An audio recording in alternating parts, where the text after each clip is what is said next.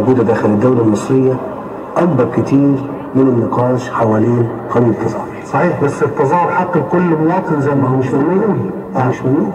هو حق